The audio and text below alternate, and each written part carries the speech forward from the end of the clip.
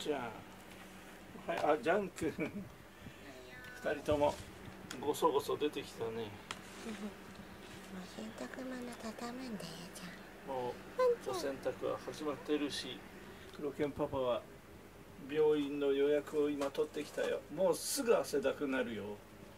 10時になったらまた行くので一回シャワー浴びに行くね。全部報告する人でしたパンちゃんパンちゃんパンちゃんんちゃん今日は一日ずっと家にいましたね。隣の部屋には行きませんでしたね。うんうちの部屋にいたよはい偉いです。偉いねもうちょっと涼しくなったらねあの行き来できるようにするからね。はいジャン君も。ジャン君も偉いね。偉いねジャン君。パンちゃんもねちょっと行こうとしたけどね。あそうだね。生配信中にジャン君は外に出ようとしました。あれはうるさかったですか？歌がもういいよってなったかな？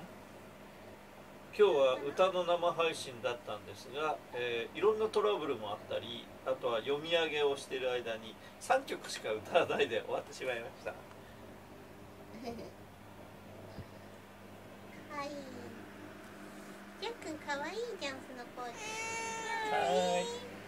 じゃあ今日はこれで寝ます。